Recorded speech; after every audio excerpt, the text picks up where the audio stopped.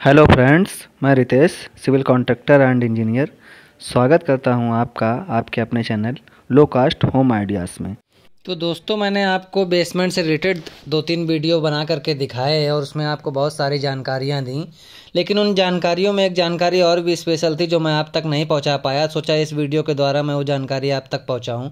जैसा कि आप लोग बेसमेंट जब बनाते हैं तो मैंने आपको बताया था कि बेसमेंट बाथरूम बनवाते वक्त आपको एक चैम्बर बनाना पड़ेगा जिसमें मोटर का कनेक्शन देना पड़ेगा। तो देखिए, ये पूरा हमारा चैम्बर है, हमारे बेसमेंट में तैयार है। इसके ऊपर का रखने वाला है ढक्कन है। ढक्कन के साइड में देखिए, एक छोटा ढक्कन दिया हुआ है, जिससे कि जो है आप मोटर द्वारा जो भी पानी आपका एकत्रित हो, उसको आप निकलवा सकते हैं। बाथरूम जैसे आप बेसमेंट में बनाते हैं तो जो भी आपका बाथरूम का पानी होगा, उसको आप इसमें एकत्रित होगा और मोटर के द्वारा उसे बाहर निकाल लिया जाएगा। इसी तरह से आप भी अगर बेसमेंट बना रहे हैं तो हमेशा इस तरह का एक चैम्बर बना करके रखें और उसके ऊपर का ऐसे ही ढक्कन रखें और एक मोटर की व्यवस्था करके रखें। इसके अलावा मैंने आपको ये भी बताया था कि जैसे आप बेसमेंट तो बनवा लेते हैं, लेकिन बेसमेंट बनवाने के बाद आप प्लम्बर का वर्क कैसे कराएँगे? प्लम्बर का वर्क ये मान के चलिए कि बेसमेंट तो आपका डाउन में हो गया और बाहर जो सीवर लाइन हो, आपके यहाँ रोड पे पड़ी होगी, वो तो ऊंचाई पे पड़ी होगी तो जितना भी हमारा बिल्डिंग का जो भी वेस्टेड मलमा होगा या जो भी पानी होगा, उसे हम कैसे ले जाएँगे और कहाँ ले जाएँगे? तो ये देखिए बेसमेंट की छत में इस प्रकार से आपको के पाइप को लटकवाना है। बहुत लोग होते हैं जो बीम की कटिंग भी कर देते हैं लेकिन कोशिश ये करें कि बीम की कटिंग ना करनी पड़े। बीम की कटिंग करने से होता क्या है कि सरिया भी कट जाती है और मसाला भी जो बीम पे होता है वो कट के निकल जाता है जिससे कि बीम का कमज़ोर होने का बहुत सारा चांसेस होता है।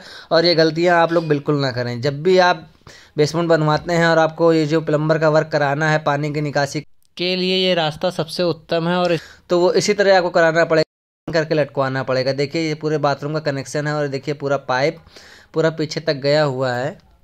और इसमें जितना भी आपका बाथरूम होगा, दो फ्लोर तीन फ्लोर का बाथरूम है और आपका जितना भी जो सीवर लाइन है, वो सब इसी तरह से कनेक्शन होकर के बाहर की तरफ़ जाएगी और इसी तरह से बाहर सीवर लाइन में मिल जाएगी जा कर के बस बताना इतना मेरा मकसद था कि जो भी पाइपलाइन आप डलवाते हैं, वो ज़मीन से तो जा नहीं सकती है और ऊपर से यदि आपको ले जानी है तो आप ऐसा करें कि बिल्कुल इसको जो है, बिम बिल्कुल ना काटें और ऊपर से हैंग पाइप लटकवा करके लेके जाएँ। और जो भी खड़े पाइप आपके बाथरूम के हों, उन पर इस तरह की जाली ज़रूर बंधवाएँ, जिससे कि मसाले की पकड़ बहुत अच्छी प्रकार से होगी।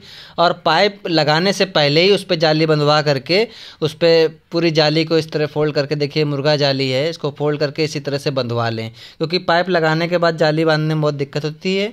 थैंक यू वेरी मच और यदि वीडियो में दी गई जानकारी पसंद आए तो चैनल को लाइक, शेयर, सब्सक्राइब करना ना भूलें।